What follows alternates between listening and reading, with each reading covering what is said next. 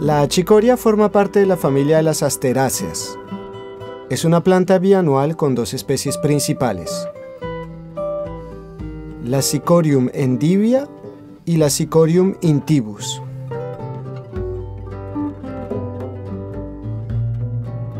La Sicorium endivia se divide en dos grandes subespecies cultivadas por sus hojas. La achicoria rizada o crispa y la achicoria escarola o latifolia.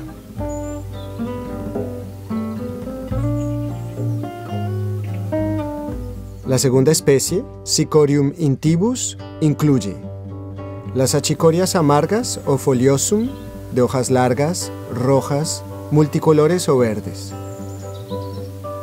Las achicorias sativum, como la endivia. Y las variedades cultivadas por sus raíces, de las que se puede extraer azúcar o producir un sucedáneo del café al tostarlas y molerlas. Las achicorias silvestres de Europa también forman parte de la especie Intibus.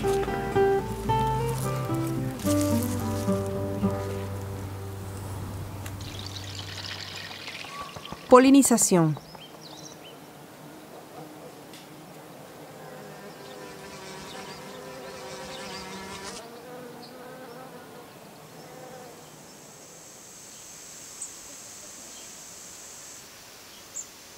La inflorescencia de las achicorias es un capítulo floral formado por florecillas de color azul o azul violeta. En ambas especies las flores son hermafroditas. Las flores del Sicorium endivia se pueden autofecundar, pero tienen cierta tendencia a la alogamia. Por su parte, las flores de las achicorias de la especie Sicorium intibus son autoestériles. Por lo tanto, existe riesgo de polinización cruzada por la acción de insectos entre las diferentes variedades de cada especie. Y además, el polen de la especie Sicorium endivia puede fertilizar las flores de la especie Sicorium intibus.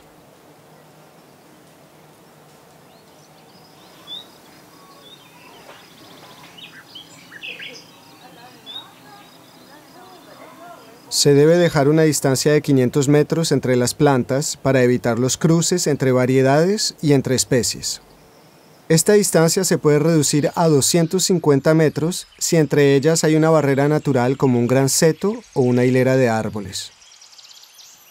Para evitar los cruces entre variedades de Sicorium endivia, se puede utilizar una malla mosquitera fija, ya que son autofértiles.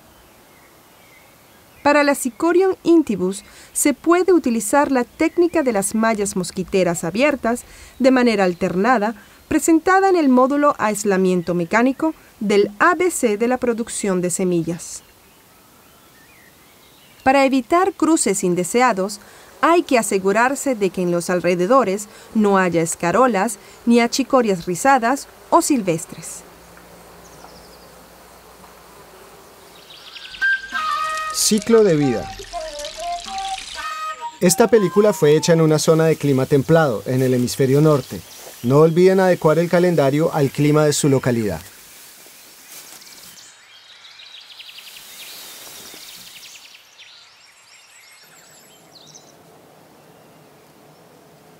La achicoria es una planta bianual. Las plantas para la producción de semillas se desarrollarán durante el primer año y producirán sus semillas durante el segundo año de cultivo.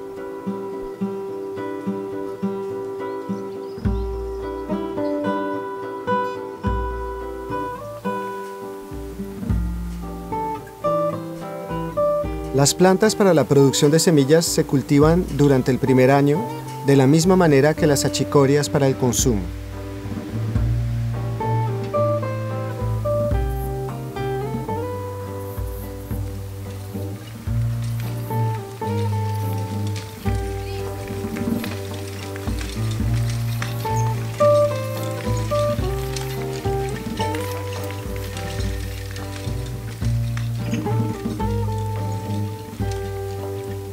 Se seleccionan de acuerdo a las características propias de la variedad, forma, tamaño y color de las hojas, así como una buena formación de cogollos.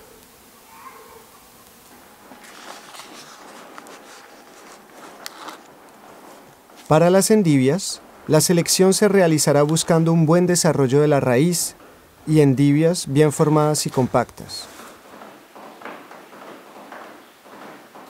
No se deberán seleccionar las achicorias que hayan florecido durante el primer año de cultivo sin completar su ciclo normal de desarrollo. Las plantas procedentes de estas semillas tendrán tendencia a florecer cada vez más temprano, lo que no es conveniente en las verduras de hoja.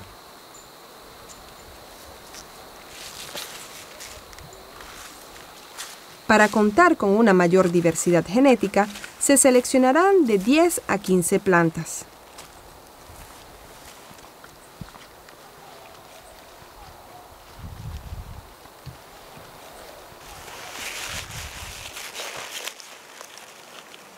En otoño se podrán cosechar las hojas para el consumo y se guardarán las raíces para producir las semillas.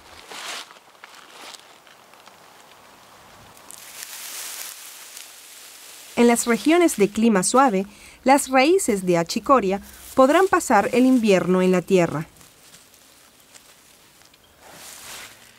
En las regiones de clima frío, Existen varios métodos para conservar las plantas durante el invierno. Las raíces se pueden desenterrar antes del invierno.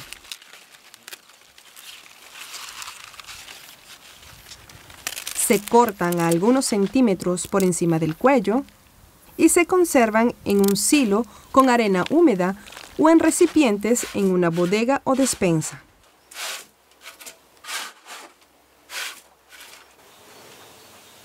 La humedad óptima es de un 80% aproximadamente y la temperatura de entre 0 y 4 grados Celsius.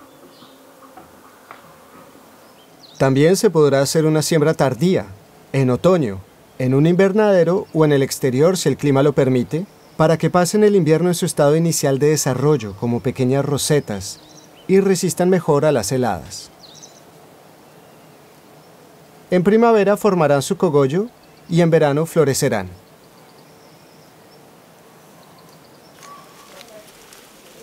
En primavera, las raíces conservadas en una bodega se volverán a plantar en el huerto. Se eliminarán las que se hayan podrido.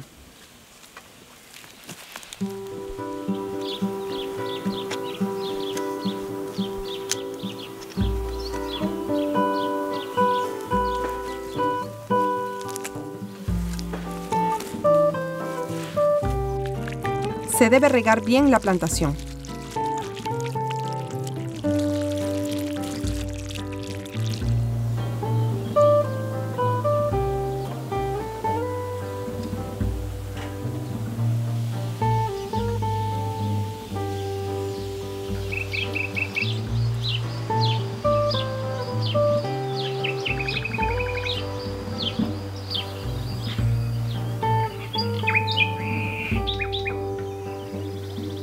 Irán floreciendo poco a poco y producirán un tallo floral muy alto que necesitará un tutor.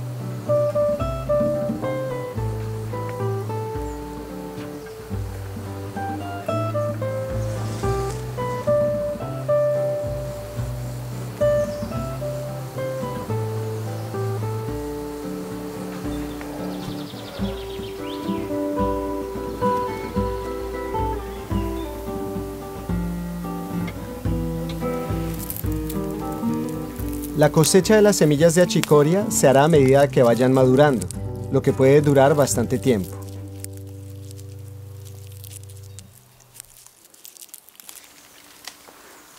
No se debe esperar hasta que la planta esté totalmente seca para recolectar las semillas, ya que muchas podrían caerse.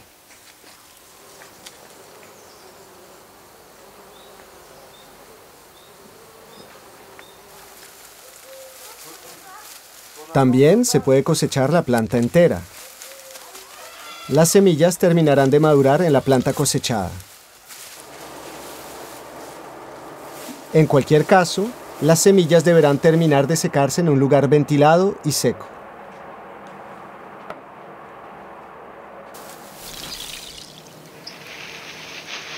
Extracción, cribado y conservación.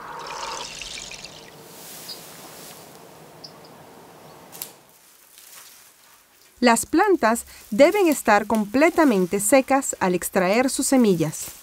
A veces es difícil extraer las semillas de achicoria de su cascarilla, mientras que otras veces se caen fácilmente.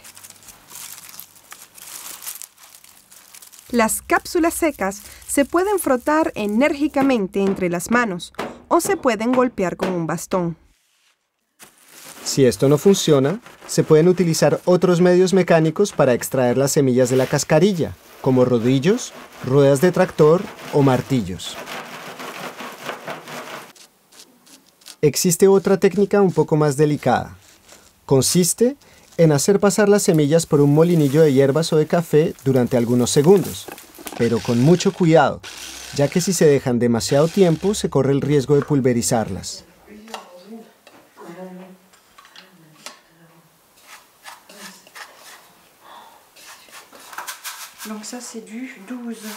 Para el cribado, se utilizan tamices de distintas dimensiones con el fin de eliminar los desechos.